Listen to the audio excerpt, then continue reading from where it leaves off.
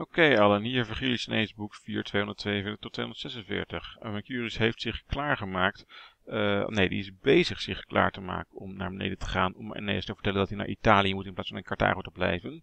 Hij heeft dus vleugelschoenen al aangetrokken. Die zijn een beetje beschreven. En tum vergam, vergam capit. Haak animas elevocat orco palentes. Alia sub tartara tristia mittit. Dat somnos rimit quet lumina morte resignat. Dan pakt hij zijn staf. Daar zie je hem. De caduceus, de herautenstaf van Mercurius. Daar heeft hij hem ook in zijn handen. Wat is dat nou voor een bijzondere staf? Hij lijkt wel een beetje op de staf van, uh, van, van de doktoren, hè? van um, de god uh, Asclepius. Moest ik even over nadenken. De god van de artsen.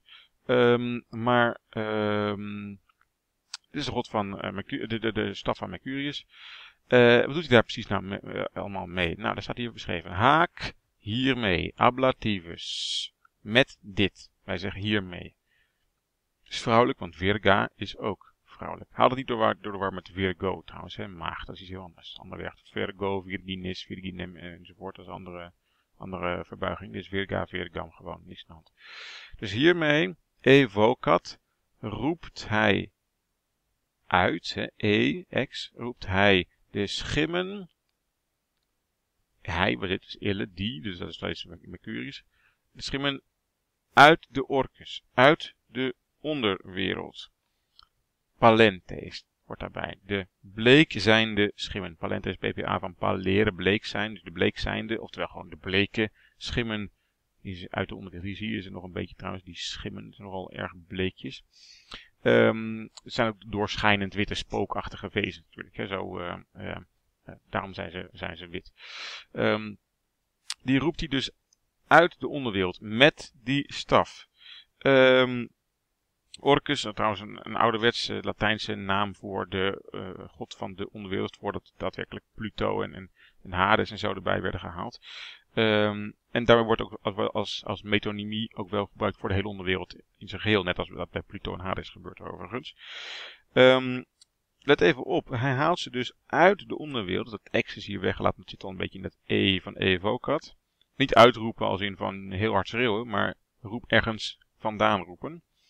Um, het kan zijn dat hier gedoeld wordt op het, het, feit dat, dat, dat Mercurius de doden uit de onderwereld naar de levende wereld haalt om ze te laten verschijnen in, als droomverschijningen of zoiets, hè, dromen van mensen. Want dan, zoals Aeneas, uh, heeft hij door, zijn vader bezocht. Nou, nee, hij ontmoet zijn vader in de onderwereld.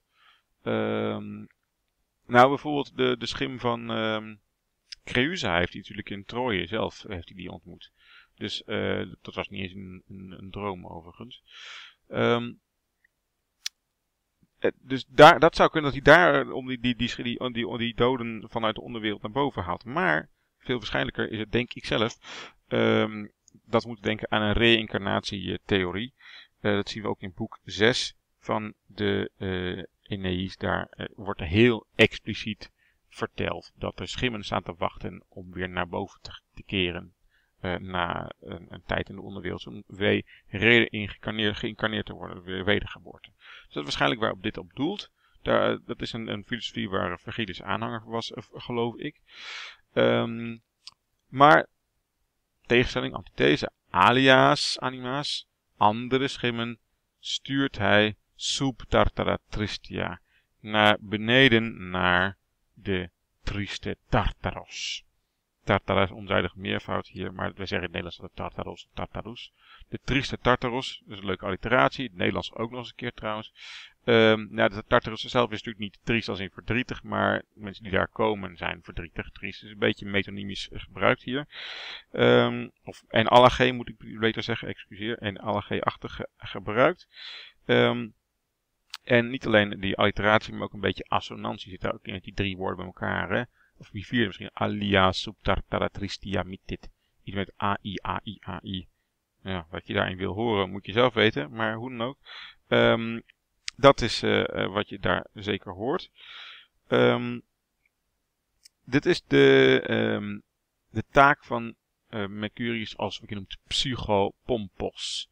psychopompos, Grieks woord voor zielenbegeleider van, van en naar de onderwereld. Dat was zijn, een van zijn belangrijke taken. Um, Haak, hiermee dus, dus doet hij dit en doet hij dat. En daarmee ook, hiermee ook, dat somnos geeft hij slaap. Som, som, noemen, som noemen ze slaap, hier slapen, laten we zeggen poëtisch meervoud is. Alhoewel je misschien kan zeggen de, de verschillende slapen die hij aan alle mensen geeft. Hè, als je dat als eenvoudige dingen, eh, enkelvoudige dingen ziet. Ik ontvang een slaap en jij ontvangt ook een slaap en jij ontvangt ook een slaap. Hè. Je, je beauty sleep, zullen we zeggen. Um, dus uh, die geeft hij. Waarom? Nou, heeft iets te maken met natuurlijk ook zijn verbinding met de onderwereld. De onderwereld is dood en het lijkt op slaap. Vandaar ook dat hij slaap kan bieden. En ook weer, en ook weer adimit, ontneemt. Tegenovergestelde. En dit is dan weer heel interessant. Et lumina morte resignat. En ja, dit kan verschillende dingen betekenen, dames en heren. Lumina zijn wel duidelijk de ogen. Um, dat betekent eigenlijk uh, lichten, maar dat is metonymie voor ogen. Dat zien we heel veel in de Romeinse poëzie. Dat, datgene waar je het licht mee ziet, dat zijn dus, de, dus je ogen. Dat wordt ook wel de lichten genoemd, je ogen. Um, en letterlijk resignare. Een signum is een uh, teken. En dat kan ook een zegel op een brief zijn. Dus ver, verzegelen zou dan signare zijn. Dat is uh, ondertekend, to sign het Engels is. Uh, verzegelen, een brief verzegelen. Dat laat je zien dat hij echt van die persoon is die die zegel hierop gezet heeft. Want dat is een unieke zegel. Dat is je handtekening. Resignare betekent niet opnieuw doen, maar betekent juist het zegel verbreken. Dus uh, hij verbreekt dus het zegel van de ogen.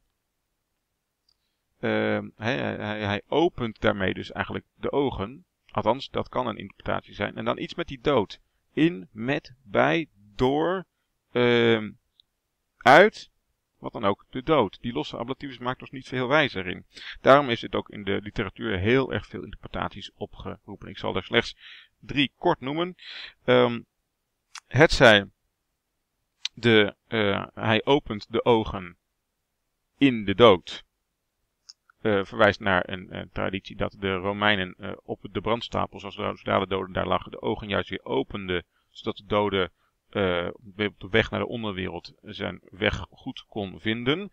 Nou, misschien doet Mercurius dat hier ook. Hij opent, hij opent de ogen in de dood.